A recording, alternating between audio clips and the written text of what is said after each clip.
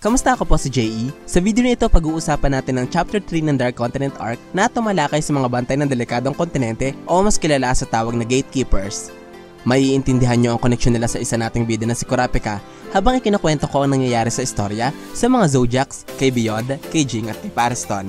Pero bago tayo magtungo sa mga karakter na ito, ay huwag mo sanang kalimutang mag-subscribe sa ating channel at i-hit ang notification bell kung hindi ka pa rin nakaka-subscribe sa ating ikalawang channel ukol sa One Piece at naka-follow sa ating mga Facebook pages ay maaari mong i-click ang mga links sa baba para palagi kang updated sa araw-araw na kwentuhan dito lamang sa JATV. Sa kabanatang ito ng serye, mas naintindihan natin ang panganib ng Dark Continent dito, naipaliwanag na ang ligtas na mundo kung saan nanatili ang ating mga bida ay parte na ng Dark Continent at matatagpuan sa gitna ng lawang tinatawag na Lake Mobius. Tinalakay din dito na sa loob ng mahabang panahon, merong isang daan at apat na putsyam na naitalang ekspedisyon ang isinagawa papunta sa delikadong kontinente. Subalit, lima lamang sa lahat ng misyong ito ang nakauwi na merong manlalakbay na nabuhay. Sa lahat din ng halos 70,000 sumubok na pumunta sa Dark Continent, 28 tao lamang ang nakaligtas at mula sa 28 taong ito, tatlo lamang ang nakabalik sa kanilang normal na buhay. Isa na dito, si Beyond Netero. Sa ngayon, si Beyond Netero na lamang ang nananatiling buhay sa kanila. Ibig sabihin, sa lahat ng kasama sa naitalang expedition papuntang Dark Continent, si Beyond na lamang ang pamilyar sa lugar. May karanasan sa pagpunta dito at may kaalaman para sila magtagumpay. Kaya naman, malaki ang tiwala sa kanya ng hari ng Kakin Empire dahil sa oras na maging matagumpay ang pagpunta nila sa Dark Continent ay kikilalanin si Haring Huiguro bilang bayani hindi lamang ng kanilang bansa kundi ng buong mundo. Isang bagay na batid ni Beyond kaya sinuko niya ang kanyang sarili sa Zodiacs at sa Hunter Association. Katulad ng ating mundo kung saan nagkaroon ng karera noon sa pagpunta sa buwan ng malalaking bansa, sa mundo din ng Hunter x Hunter ay gusto makapag-unahan ng mga miyembro ng B5 kontra sa bansang Kakin sa pagdiskubre sa Dark Continent. Kaya, imbes na paslangan nila si Beyond o parasahan dahil sa pagkakasalang ginawa nito sa mundo ay gusto nilang alagaan siya ng Hunter Association sa pamumuno ni Chidel. Dahil siya ang simbolo ng pagkatagumpay sa pagtahak sa Dark Continent. Sa bandang huli, walang nagawa ang Zodiacs kundi ang sumunod sa kagustuhan ng mga pinuno ng B5 at sa kagustuhan ni Beyond. Nagtulak sa kanila para mapagdesisyonan nilang isama pa rin si Beyond sa biyahe sa kasunduang ikukulong siya ng Hunter Association, babantayan at papakawalan lamang kapag nakarating na sila sa Dark Continent kung saan siya mas kailangan. Ang kaalaman ni Beyond sa delikadong kontinente ay magsisilbing gabay sa kanilang lahat para maging matagumpay sa kanilang layunin. Ngunit, kahit marami siyang kaalaman ukol sa Dark Continent, ay malabo silang makapasok ng buhay o naligtas sa lugar kung walang tulong mula sa totoong gabay papunta sa delikadong kontinente. Ang mga gabay na mas kilala sa kwento bilang guide ay isang nilalang na ipinapadala ng mga bantay o gatekeepers ng Dark Continent. Ang mga bantay na ito ang natatanging koneksyon ng Dark Continent at ang ligtas na mundo. Sa ngayon, bukod sa impormasyong ito, wala na tayong iba pang tiyak na kaalaman kung ano ang mga guide at maging kung sino ang mga gatekeepers. Subalit, naniniwala ako na mga bantay na ito na daan sa pagkatagumpay ng mission papuntang Dark Continent ay walang iba kundi ang angkang pinanggalingan ni Kurapika at ito ay ang mga kurta. Alam kong maaaring napakunot ang mga noo nyo sa aking ibinigkas lalo pat bukod kay Kurapika ay wala nang kurta tayong nakita sa kwento. Subalit, katulad ng mga naunang impormasyong ibinahagi ko sa inyo noon, bibigyan ko kayo ng napakaraming pruweba na ang mga kurta ay ang bantay ng delikadong kontinente. Ang una kong pruweba ay makikita sa kasuotan ni Kurapika sa damit ng membro ng kurta matatagpuan natin ang isang simbolo na may hahalin tulad sa infinity sign ng ating mundo. Ganun pa man, kahit may malaki itong pagkakapareho dito, sigurado akong hindi ito infinity sign dahil ang imaheng ito ay isang disenyo na kinuha mula sa Mobius Strip. Ang Mobius Strip ay isang bilog na simbolo ng ating mundo na nakabalik ko ang kalahating parte. At kahalintulad ng tawag sa simbolong nasa damit nila Kurapika ay ang pangalan ng lawang pinaglalagyan ng ligtas na mundo kung nasaan sila at ito ay ang Lake Mobius.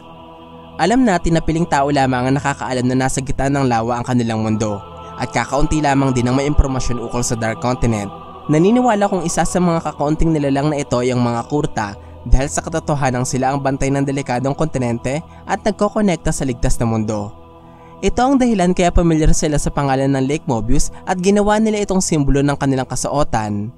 Bukod pa dito, isa pa sa mga ebidensya kung ang mga kurta, ang gatekeepers ng Dark Continent ay ang simbolong matatagpuan sa mismong tarangkahan ng kontinente.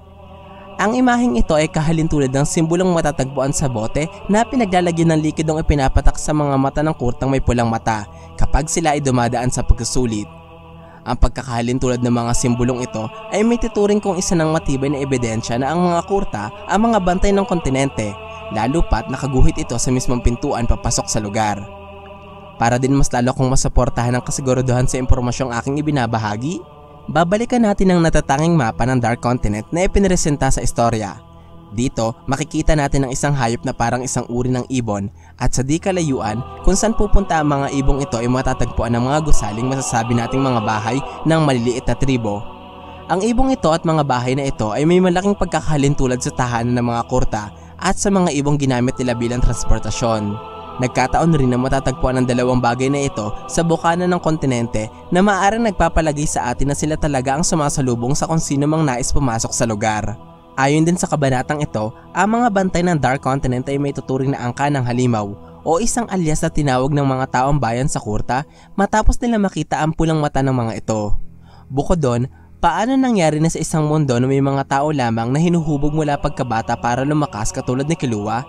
Nagsasanay ng matagal para magkaroon ng abilidad katulad ni Gon at nag-aaral ng mahabang panahon para maging dalubhasa sa isang bagay katulad ni Leorio ay merong isang korapika na pagkasilang pa lamang ay nagtatagli na ng espesyal na kakayahan, di masukat na lakas at natatanging galing sa pakikipaglaban. Ang rason ay dahil ang angka ni Kurapika ay hindi nagmula sa ligtas na mundo kundi sa Dark Continent. Sa tingin ko, merong isang pangyayaring naging dahilan para hindi makabalik ang mga kurta sa Dark Continent o di kaya naman ay napagdesisyonan ng kanilang mga ninunong humiwalay sa malaking parte ng kanilang angkan at magtungo sa ligtas na mundo para sa mas maayos na pumumuhay.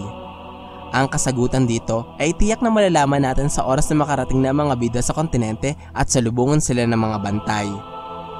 Upang makapunta sa Dark Continent, gumawa ang bansang kaki ng isang malaking barkong tinatawag na Black Whale dito nila isasakay ang 200,000 pasahero na kanilang bubunutin mula sa lahat ng nagnanais na sumama sa ekspedisyon. Ang plano ay susuportahan ng B5 ang paglalayag ng bansang Kakin papuntang Dark Continent. Bago makarating dito, ibababa nila ang mga sibilyan sa mga lupayang hindi pa nararating ng tao at palalabasin nilang ito ang Dark Continent kahit nasa ligtas na mundo pa rin sila. Pagkatapos ay itutuloy ng Black Whale ang paglalayag kasama ang mga kwalipikadong malalakbay at ang Hunter Association patungong Dark Continent upang diskubrihin ang lugar at kumuha ng yaman dito na paghahatian ng B5 at ng bansang Kakin. Sa tagpuring ito, gagamitin nila ang kaalaman ni Beyond Netero sa kontinente. Bukod kay Beyond, ang isa pang karakter sa kwento na nagtatagli ng konkretong impormasyon ukol sa kontinente ay walang iba kundi si Jing Freaks na sa ngayon ay nagsadya sa kinaroroonan ng Dark Continent Expedition Team kung nasaan si Paraston at ang mga temp partners na binuo ni Beyond. Batid ang dating board ng Zodiacs na si Paraston ang may plano ng sapilit ng pagsama ng Hunter Association kay Beyond sa Dark Continent. At kapag tumanggi ang mga hunters sa pakikibahagi sa misyon, papakawalan ni Paraston ng 5,000 Chimeraans na kanyang kinuha mula sa kastilyo ni Merwem. At para masigurado ni Jing na alam niya ang aksyon ng dating rat ng Zodiacs at para matupad niya ang kanyang pangarap na makapunta sa delikadong kontinente ay sumali siya sa grupo ni Beyond sa pagpunta sa Dark Continent. At dito natapos ang ikatlong kabanata ng Dark Continent Arc. Sa parting ito ng istorya, may tatlong mahalagang bagay tayong dapat tandaan. Isa na dito ay ang pagkakabihag ni Beyond Netero sa kamay ng mga Zodiacs Pangalawa ay ang impormasyong aking ibinahagi ukol sa mga kurta sapagkat sigurado akong mas mabibigyan ito ng linaw sa pagpapatuloy ng kwento ni Kurapika. At ang pangatlo ay ang pagdating ni Jing Freak sa kuta ni Beyond Netero. Papayagan ba siya ng mga orihinal na miyembro o ni Pares to na sumali sa kanilang alyansa? Lahat ng yan ay dadaanan muli natin sa mga susunod kong videos kaya wag niyo po sanang kalimutan. Ito po ang aking paliwanag ukol sa ikatlong kabanata ng Dark Continent Arc Bago po kayo dumiretso sa ikaapat na kabanata ay gusto ko munang batiin sila.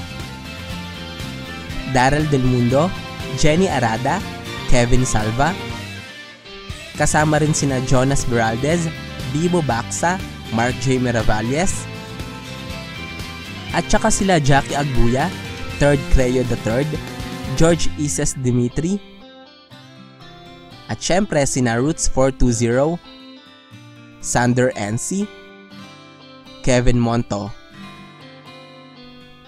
Sana po ay nagustuhan nyo ang aking paliwanag. Kung meron pa po kayong tanong at gustong idagdag ay huwag po kayong mahihiyang magkomento sa baba. At kung gusto nyo rin naman ng iba pang kwento ng anime ay isearch nyo lamang ang JETV sa inyong mga social media accounts. Maraming maraming salamat po sa inyong walang sawang suporta. Ako po si JE. Hanggang sa muli!